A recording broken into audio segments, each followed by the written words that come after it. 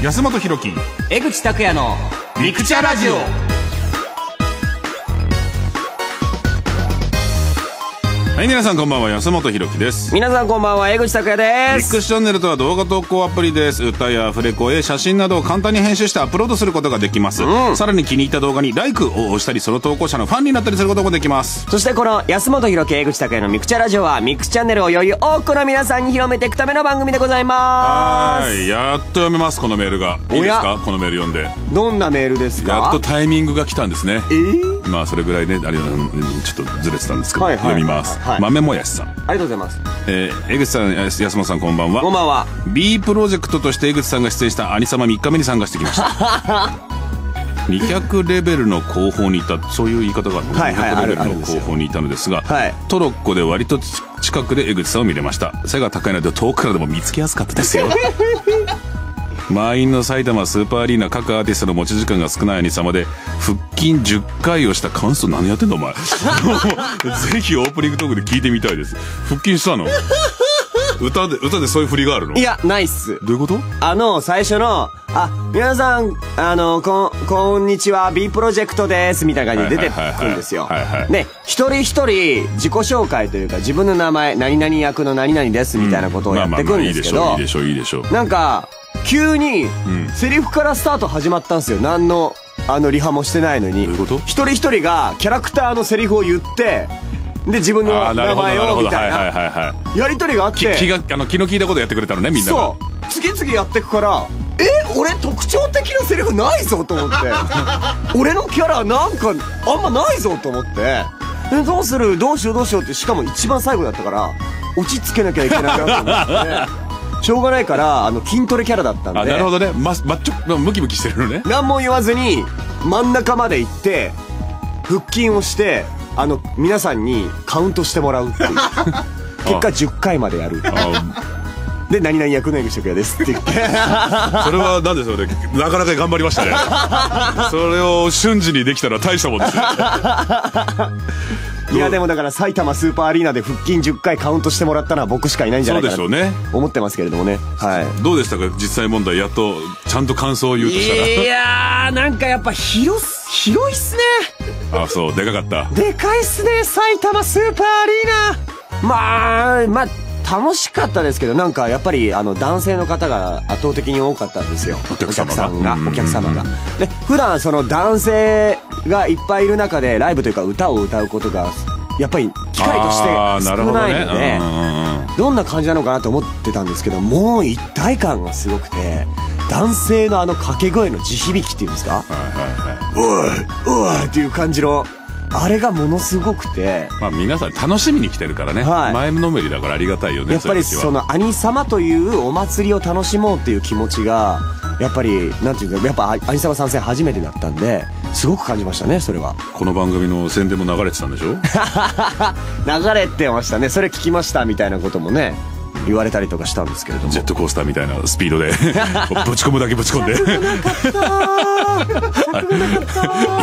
くよく頑張ってくださいました。ありがとうございます、はいありがとうございます。それで見に来てね見に来てあげた皆様ありがとうごありがとうございました。ざいましたさあここから先は普通にやっていきます。では始めていきましょう安本ゆき江口拓也のミクチャラジオ。スタート。安本博樹江口拓也のミクチャラジオ。この番組はミックスチャンネルの提供でお送りしますミックスチャンネルは無料でダウンロードできる動画投稿ライブ配信アプリ。歌アフレコイラストダンスコスプレなどの多彩なジャンルの動画がたくさん。またカラオケ付きのライブ配信や掲示板などユーザー同士がつながれるコンテンツも充実。同じ趣味の人とつながったり誰かのファンになったり楽しみ方は様々。スマホ一つで歌ったりカラオケしたりできるので気軽に動画投稿やライブ配信をして自分のファンも増やしちゃおう。あなたのやってみたいをすぐに叶える動画投稿アプリミックスチャンネル。アップストア Google プレイで今すぐ無料でダウンロード。ミクチャで検索。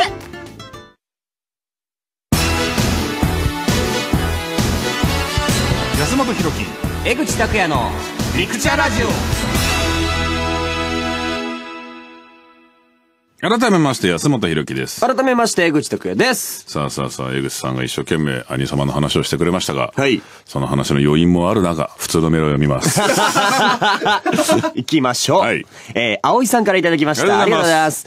えー、安本さん、江口さん、こんばんは。こんばんはえー、夏休みも終わり、バイトを始めようかと悩んでいるのですが、ほうほうどのバイトがいいのか分からず戸惑っています。月給やシフトなどを見て、これいいなと思うものがあっても、未経験者で足引っ張ったらと未だ、えー、決められません。思い出に残っているバイトや面白かったバイトの思い出などありましたら教えていただきたいです。ということでございますね。うーん、誰だって最初は未経験だからな、未経験者ででも大丈夫だよって書いてあるところだったらいいんじゃねえかなって気もするけどね。まあそうですね。な、まあ、どうなんですかね。自分がどういう仕事がね、合ってるかどうかみたいな、その、対人スキル強めというか、人と話すの楽しいんだったらね、レストランとかね。接客業がね。俺まさにそれで、顔見えるのじゃないとダメで、テレフォンアポインターのバイトをやったことが、あれ時給いいじゃない？はいあいいですやったけどなんかもう、心が持たなくて。へえ。僕なんかは、まあ初めてやったのはコンビニでしたね。コンビニか、そっか、はい俺コンビニまで手手出してないんだよね。経験してないんだよね。本当ですか？結構やってる人多いよね。はい。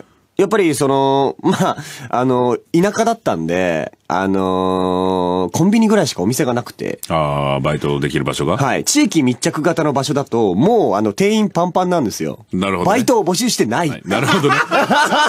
もうぎゅうぎゅうなのね。ぎゅうぎゅうなんですよ。ホームセンターもぎゅうぎゅうみたいになってて。ちょっと離れるしかない。はい。なもうコンビニぐらいしかないんですよ。回転が早いというか。なるほどねはい。だったんですけどね。やっぱり、最初は本当大変でしたけれども、迷惑かけることもありましたけれども、そこはやっぱり、あの、初めてだから、優しかったし、慣れるっていうのはありますよ。コンビニでね、まあ実習生ってよくははいはいはいはいマフラーつけてやってる子たちがいて、一生懸命隣に先輩がついてんじゃんはい。初めて独り立ちするときってめっちゃ緊張すんだよ、やっぱ。あー、そうですね。お金扱うわけじゃん。いや、そうなんですよ。だから、あのあ、今日からもう、あの、一人でやってって言われた瞬間はもう、とにかくもう言われたマニュアルっていうのがあるんですけど、全力でこなすしかないんですけど、もう、声も張るは、すごいですよ、僕の多分仕事ぶり。必死。必死必死ですけど、もう、じし、やっぱり一年ぐらいやると、んなんていうんですか、ものすごい自信満々というか、俺がコンビニ店員じゃなくて誰がなるんだぐらいの勢いで、いいたずらなプライドが目を、芽生えちゃうのね。はい、あの、た、他のコンビニとか行っても、フェイスアップしちゃうっていう。あ、フェイスアップっていうのは、ちょっと教えてもらっていいですか、フェイスアップ。商品がこう買われると、開くじゃないですか。はいはいはいはい空間が。それを、要は顔を前に出すっていう意味で。あなるほど奥から前に出す奥からそうなんです。なるほどなるほどでもそれをフェイスアップで、要は、売れたらまた新しくこう、フェイスアップしなきゃいけないから、フェイスアップを欠かさないっていうのがあるんですけど、あそういう、あの、マニマニュアルがあるのねそう。なんです。そしたら、ああー、このコンビニフェイスアップしてない、みたいになって、おにぎりとか前出しちゃう。はい、おにぎり前出し、出しがち。あと、ポテトチップスとか前に出しがち。えー、そんななるほどね。あれ、フェイスアップっていうのはね。はい、そう、そうなんですよ。だからね、まあ、慣れればね、っていうのはありますけれども。どんなバイトも最初ビビるからな。一番最初にやったの俺なんだ、引っ越しかな、俺。うわー結構きついですね。僕も高校の時に友達に連れて、はいあの、一緒にやろうぜって言われて。はいはいはい。引っ越しはでも、だなんか友達とだったからまだ大丈夫だった。あと、そうですねフィジカルバカだから、はいはいなんなん フィジカルバカ。膝を支点に洗濯機を一人でひょいってこう、あの、グッて持ち上げたら、あの、先輩のその、引っ越しの業者の人に、なんでそのやり方知ってんの？って言われて。いや、結構でこれだっていけるかなと思ってるから、なんか、なんか本能でできてた。本能で表もひょいってあげる方法を知ってた。なんでそれ知ってんの？って言われた。いやー、引っ越しは辛かったなでも大変だったねはい。エレベーターありなしで、あの、ありって書いてあると超嬉しいんだよね。そうですね。なしで3回とかが、やべえ、来たーってなる。単数、木の単数がおめえんだよ。ありますよね。全部アルミラックにしてって思う、本当 わかります。まあね、ということでね、まあ興味があるものにとりあえず挑戦してみるってことが大切だと思います。そうですよ、そうです。何も、何も、みんな最初は童貞。うん。いやいや、まあね。で、でこちら、チャラジョネーム、鳥さやエンドさん。ありがとうございます。安間さん、江口さん、こんばんは。こんばんは。先日の江口さんのツイートが気になりメールさせていただきました。本当にくだらないことなんだけど、気を紛らわせるためにつぶやかせてほしい。おしっこ漏れそう。江口さん、また漏らしたんですか？いやいやいや差し支えなければその後教えてください。まあまあ、これは実際問題も、もうおしっこ漏れそうだったんでね。はいで、それを気を紛らわすためにつぶやいたんだよね。そうなんですそこまではまあまあいいでしょ、いいでしょ、はいいいでしょはいはい。これメールにまたって書いてあるんですけど、これちょっと、言って大丈夫ですかこれ？アああ、もう全然。ーティスト活動に影響ないですか？いや、もう全然ないですけれどこの間、あも。の、信ぐなるの CD も出ましたけど。あ ありがとうございます。本当にね。ですか？9月30日にはね、あの、イベントも控えておりますけれども。あのー、そうですね。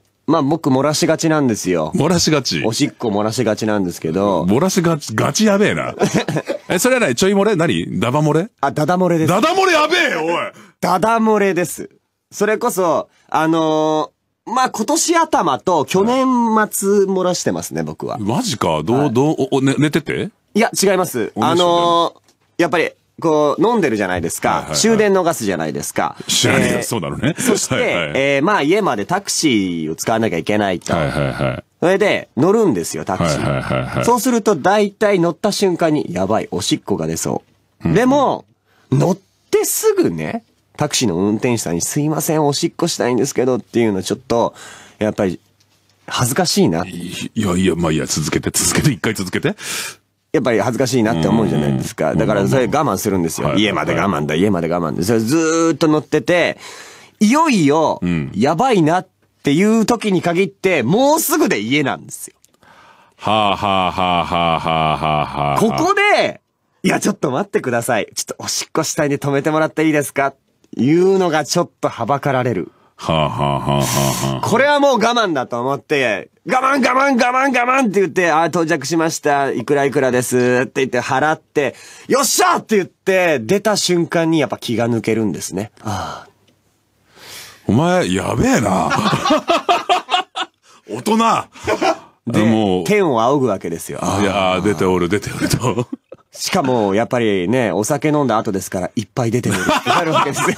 お前、やべえなすげえなおいいやでも、またって書くってことはもう別に皆さん知ってるんだね。いや、結構いろんなコンテンツで言ってますね。もう僕、だからもう、おもらし、ボーイはい、おもらしするっていうことはもう周知の事実ですね。すげえ、ウィキペディア書かれるぞ、お前。ウィキペディアは書かないで よくおもらしをするってい書かれる。やいやいや、ウィキペディア。ウィキペディアはやめてください、本当に。おもらしをして天を仰ぐって書かれるよ。誰だって天は仰ぎますよ絶対。おもらししたことないから言ってんでしょ、みんなまあ、おもらしは、小、ね、幼稚園、小学校の時には経験はありますが。ええそれはまあでも寝ててっていうことですよね。あともう、まさに学校から帰ってて、もうちょいって時にはい、出ちゃって、泣い泣いちゃうやつね。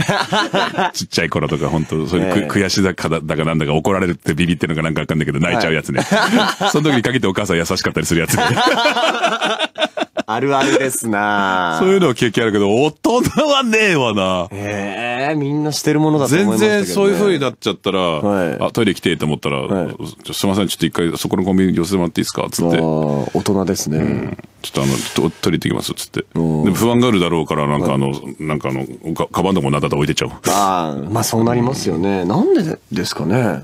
私もそうだよとか俺もそうだぜっていうメールちょっといただきたいですね。私もおもらし、おもらしメール。い や、嫌な番組？い おもらしメール募集しよらねえよう。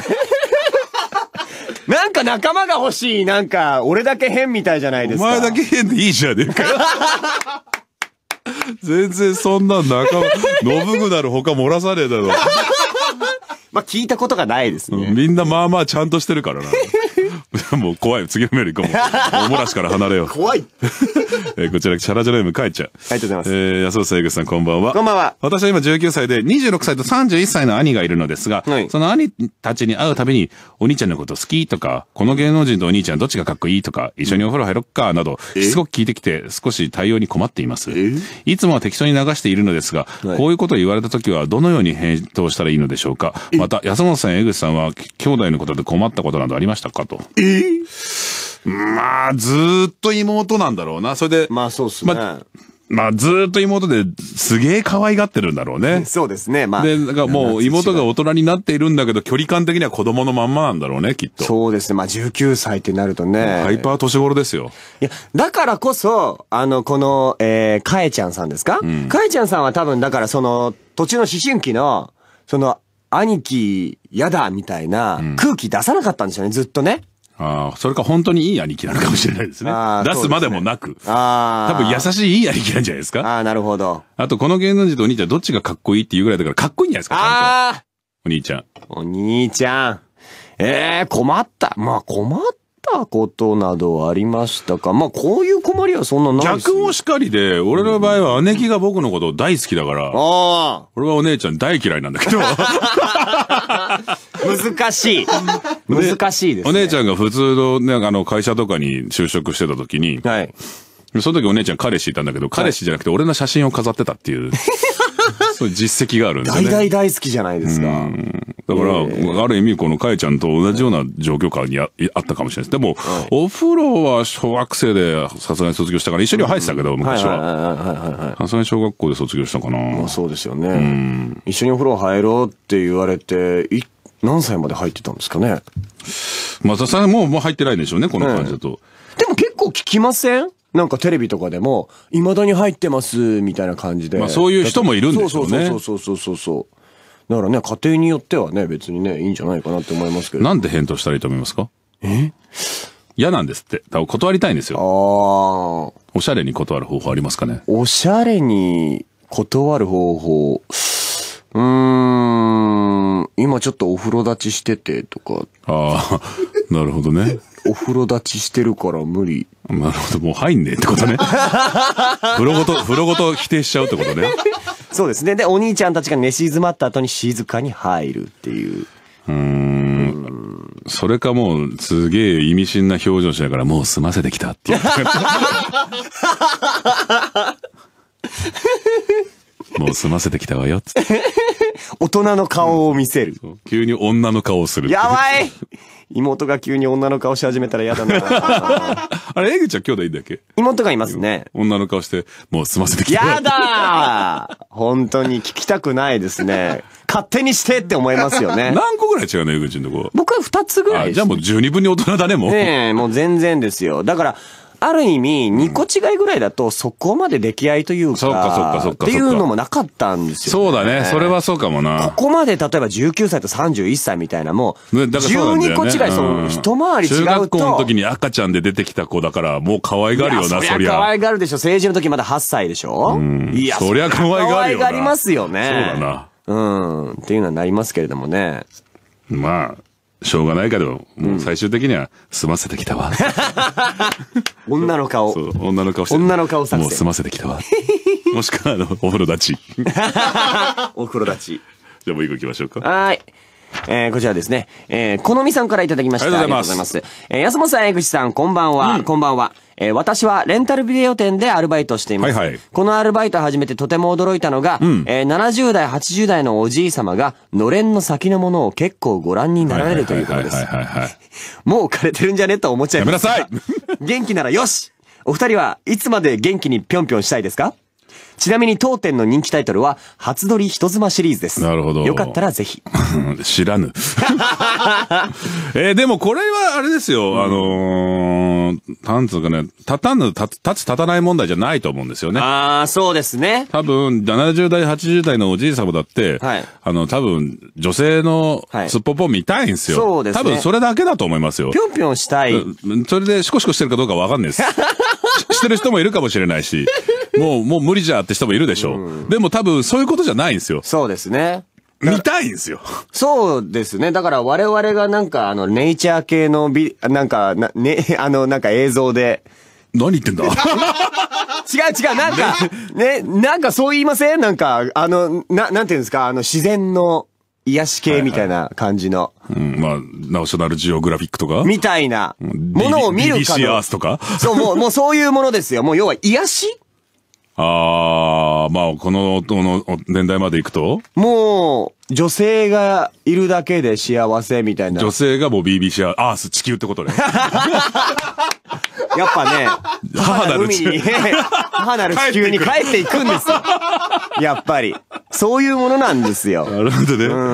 これはでも、枯れてる枯れてない問題じゃないと思うね。それはそれで。ただ、ただ単に見たいし、まさにそういう意味だったら癒しなのかもしれないね。ぴょんぴょんしたいんですよ、綺麗なお姉さんを見て、うん。ああわわし、わしも若い頃はと思うのかもしれないし、それで悲しくなる人ももしかしたらいるかもしれないし、はいはい純粋に、うふーるっていう人もいるかもしれないしね。ええそれは人それぞれいいじゃないですか。いいじゃないですかだって悪いことしてるわけじゃないんですもん。そうですよ。その年になっても、そののれんの向こうに行く元気なじじいは僕は素敵だと思いますよ。なりたい。うん、僕もどうせだったらもうずっと、うんそういうじじいになりたい。そういうじじいに私はなりたい。はい、ということでこれからもミックスチャンネルに関すること、僕たちに関することなど、たくさんのメールをお待ちしております。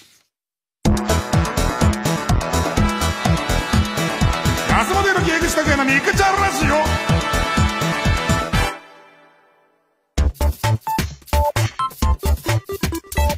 オミクチャラボこの番組からミックスチャンネルにお題をアップして皆さんに投稿してもらうコーナーです。今週はこんなテーマでお題を投稿していきます。題して方言デート。ああいいですね。方言は我々大好物ですからね。大好物ですよ。ただしえ、本日聞けるのは、え？八木橋くんです。ああ、きち。ちなみに八木橋さんはえ、埼玉県出身ということで、方言ありません。だ からもう企画ブレブレなんだよ。誰得ですか？本当だよ。標準で男のやつ聞くの、何の時間なのこれ？わかんない。でも、なまあ、えー？男性の方言聞いて、ああのワクワクする女性のもきっといらっしゃると思うね、なるほどそうそうそう。そういう需要を叶えていこうという。そうそうそう。もう、双方向に発信していきましょう。我々ではなく。そうそうそう。自分たちのことばっか考えちゃいけな い。すまんすまん。みんなすまんすまん。俺たちが悪かった。すまんすまん。いや、ちょっと八木橋さんチャレンジで。じゃあやってみましょうかね。はいとりあえずやってみましょう。はい。では行きます。方言デート。お待たせ今日はどこ行こっか？越谷レイクタウンに行こう。どっちがいい？森？風？アウトレットもあるよ。あと帰りに十万石まんじゅう食べよう。なるほど。地方で押してきましたね。方言じゃなくて、もう地方で来ましたね。埼玉ですからね。越谷をゴリゴリ押してきました。風ってなんだろう？いや、すごいんですよ、越谷レイクタウンの広さ。行ったことある？はい。いや、ついこの間、イベントしたんですよ、越谷レイクタウンで。へえ。あの、確か、その、イオンモールで、一番でかいんですよ。へえ、そうなんだ。日本一でしたっけ？それぐらいでけんだ。でかくて、その、森、風っていうフロアに分かれてて、こういう、森の建物、風の建物みたいな。へえ。だから、端っこから端っこまで確か1.3キロって言ったかな。すげえな。ならもう、1日かけても回りきれないぐらいの広さがあってっていうところなんで、まあもうたっぷりいるつもりですよね。まあね、映画館とかもきっとあるんだろうね。八木橋ちゃんは。なるほど。ええ疲れそ まあでも、そのやっぱね、ち地方といいますか、少し田舎の人たちははい、そういうとこしか遊べなかったりもしますからねう。。まあもう何でも揃ってますからね、もう一つの空間でね絶。対友達にめっちゃ会うんだろうね。合いますね絶対合いますね土日行ったらめっちゃ友達に会うんだろうね。合うだろうでなデートしてるとこ見られてちょっと気まずかったりするんだろういやーね。恥ずかしい 学校で翌日言われちゃうんだろうね。やめろよ森にいたよね。お前、えお前、お前風邪だよな。俺風邪で見たもん、つって。誰だよ、森に一緒にいてたあいつ。なるわー、それは。そういうね、はい地方紙でもまあいいですけど、そうです願わくは方言。方言 で、皆さんよろしくお願いします。お願いしますたくさんの応募お待ちしています。以上、ミクチャラジオでした。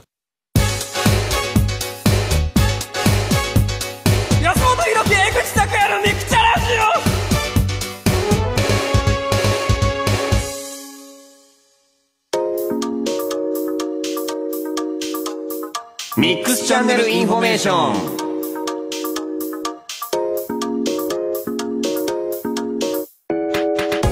コーナーではミックスチャンネルに関する情報をお伝えしていきます。アプリミックスチャンネルは誰でも簡単に動画の投稿ができるスマホ動画アプリ。アフレコ、歌、ダンス、VK ロック、コスプレなど様々なジャンルに分かれた話題の動画が盛りだくさん。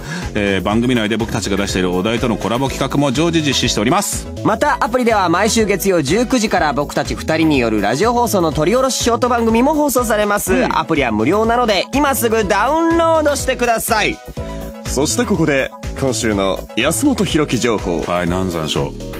何とは言いませんが、1日何回がいいっすか？今は、1かな。以上限界かな。以上0.5かも。今週のミックスチャンネルインフォメーションでした安本博樹。江口拓也のミクチャラジオ。